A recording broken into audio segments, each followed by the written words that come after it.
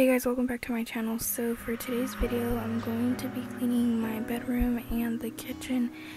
I did not deep clean in this video. I basically was just cleaning anything that needed to be clean, anything that needed to be picked up. Basically just making everything look presentable. Um, if you guys like cleaning motivation videos like this, then please subscribe down below. That is basically what my channel is going to be revolved around, and also vlogs if you guys enjoy that too.